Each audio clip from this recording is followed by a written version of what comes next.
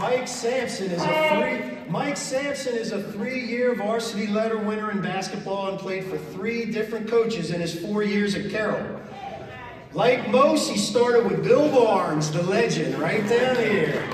The historian, Bill Barnes on the freshman team. Mike jumped to the varsity team as a sophomore and was coached by Jack Bruen, another legend.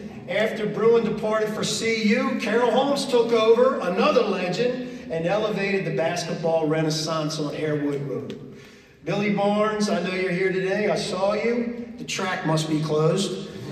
You must remember Mike Sampson's freshman year. You guided them to a 15 and 3 record, splitting the two game series with DeMatha, St. John's, and Gonzaga. That second Gonzaga game, Mike was on fire, and the Lions rallied to force overtime. Gonzaga was clinging to a one point lead with Carroll inbounding the ball under Gonzaga's basket. A quick pass found Sampson, and a couple dribbles later had him at half court. And Mike let it fly as time expired. Swoosh! The half court game winner was good. Mike finished with 43 points, and a Carroll legend was born.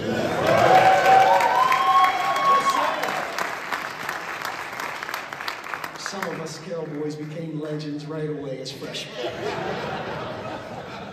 Mike's growth continued over the next three years on the varsity team. He battled Jeff Baxter each day in practice and earned valuable playing time as a sophomore, and was ready to take the team reins for new coach Carol Holmes in his junior year. In that 82-83 season, Mike pumped in 19 points to lead the Lions to a big win over Calvert Hall of Baltimore, snapping the Cardinals' 38-game winning streak. Teammate Fred Cunningham poured in 26 points to lead all Carroll scores. In that same season, the Lions would knock off St. John's, the DMV's top-rated team. The winning, I always like to hear about beating St. John's. and the winning ways would spill over into Mike's senior year as Carroll down the Danny Ferry led the squad, 88-81 in overtime at Catholic U. Yeah, that was a legendary game. The two teams would split the regular season series, accounting for Carroll's only conference loss that season.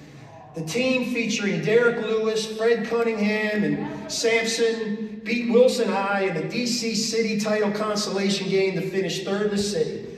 Lewis, Cunningham, Sampson trio combined for an impressive two-year record of 43 and 16. Mike earned honorable mention All Met and All Conference WMAC honors as a, as a senior.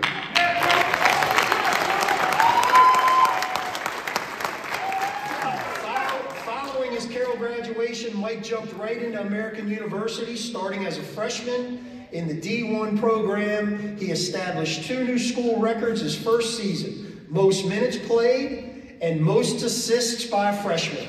He wrapped up the year average eight and a half points and six and a half assists per game.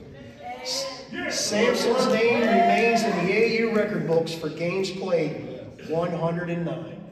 Assists in a game 13 assists in a season 184, and career assists 505. Yeah. We're hearing a lot about record books today, aren't we?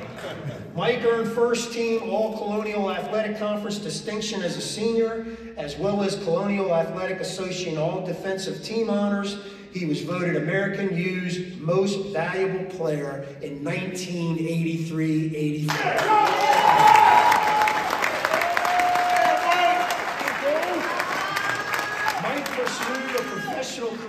CBA with the Chicago Bulls Summer League team in the USBL and overseas before returning home to forge a successful business career in pharmaceuticals and serving as CEO president of Sa- Savaro. Did I say that right? Yeah, sure. I think I have stock in that.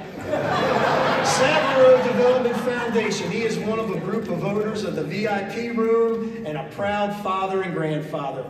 This morning, getting almost to be afternoon, we take pride in Mike Sampson and present him induction into the 2024 Archbishop Carroll Athletic Hall of Fame.